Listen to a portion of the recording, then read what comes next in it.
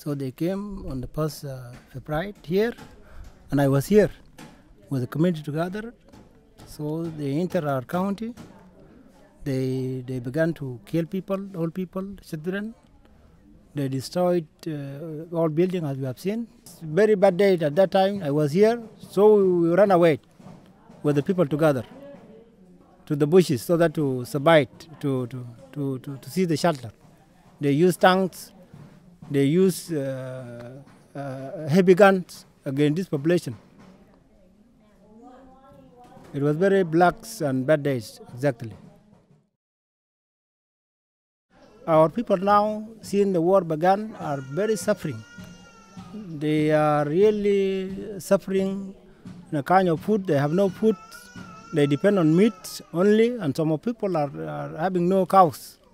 As you know, our tradition as uh, South Sudanese people, some of, our people have, have some cattle, but some of them they, they haven't. So they are now dying. So we're also calling for uh, humanitarian aid to come and help our people so that they cannot be suffer. As now, as you see, the rain will come very soon. Uh, their houses were destroyed.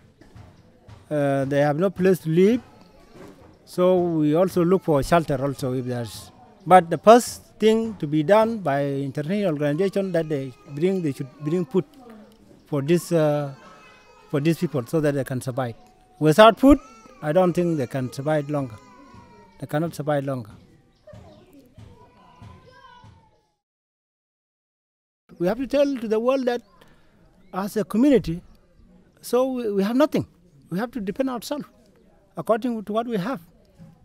So we, we cannot be easily killed by ethnic uh, uh, because of our ethnic uh, group. No, we cannot.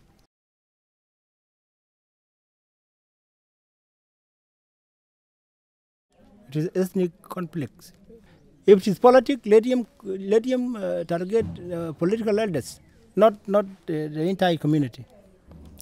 When I contest, when I contest to be MP in Assembly, there, there were so many people contesting for that uh, uh, for that seat.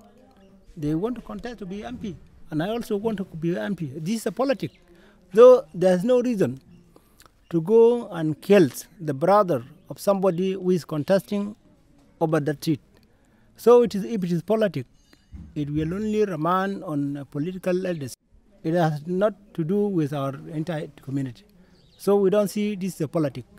Because politics, you don't kill. You talk, convince people. Whoever wins, the will of the people become the president.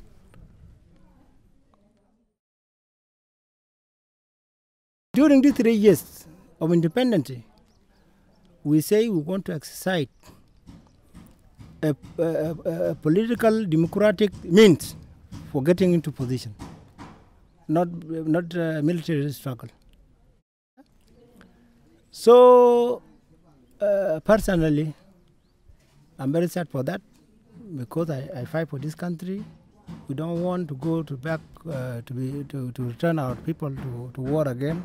As I did, I did not enjoy my adolescence as a young person because during this long time I was in war as a young person. So I don't want to take my child to be also to join the, the, the army while he's 14 years old or 13 years old. So I advise and I pray to God. And I also say to international community, let us also pray together and bring peace to our young nation.